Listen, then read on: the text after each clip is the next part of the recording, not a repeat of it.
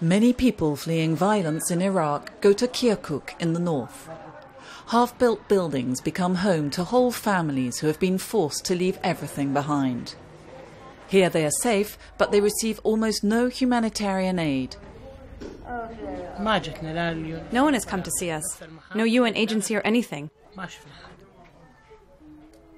Just the governor of Kirkuk and the Red Crescent. No one else.